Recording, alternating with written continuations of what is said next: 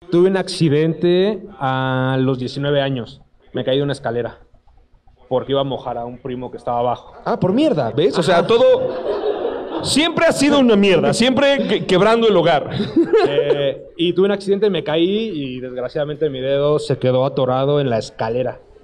Entonces, pues, pues bueno, salió volando y pues me llevaron al hospital, me, me hicieron una cirugía en donde me dijeron que pues que ya no era muy fácil que quedara por lo que lo iban a hacer. Eh, pues mis papás son doctores, entonces pues, eh, pues los amigos doctores fue como, pues lo vamos a hacer por, por ustedes y por que quede bien, ¿no? Y pues no quedó. Eh, estuvimos... pues sí, ¿no? ¿Se acuerdan que les dije que salió volando el dedo? Este, sí, eso no lo pudieron. Y pues estuve 15 días en el hospital tratando de que esto funcionara. Durante todo ese tiempo estuve con un proceso psicológico que creo que fue el que me ayudó a poderlo pues aterrizar de una forma sana. Eh, llegó mi papá y me dijo, bueno, mi papá es fan, le mando un saludo. Este, Al auténtico doctor Escobar, Al- el otro es un caballo. de verdad. Eh, me dijo, pues tú bien sabes que has sido un de la verga con la gente, ¿no? Entonces la gente va a ser de la verga contigo ahora, güey. ¿Por qué? Pues porque tienes un dedo menos y la gente de ahí, pues se va a agarrar, ¿no? Entonces trata de sobrellevarlo. Entonces, lo que hice, pues fue salir y hacer bromas de mí mismo. O sea, sí, soy un Simpson. eh. Bart Simpson, sí, eh. Mickey Mouse, eh, está bien. Alien, eh. Avatar.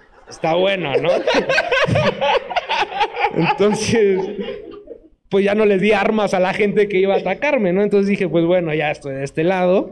Y creo que, básicamente, creo que ya la forma de enfrentar los problemas es, si está malo, pues bueno, pues aceptémoslo y que venga lo, pues lo que viene, ¿no? O sea, si ya sabes que va a pasar algo que no está en tus manos y que no tiene pues, una solución, Que literalmente no está en tus manos. pues sí, se fue, se fue.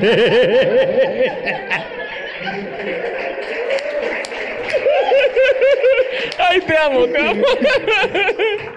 Y pues ya fue como sucedió esta forma de, de confrontar este problema.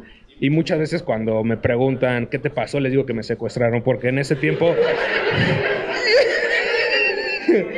en, en ese tiempo cuando me pasó, no sé si se acuerdan, pero al hijo de Alejandro, al hijo de Vicente Fernández, le mocharon un dedo.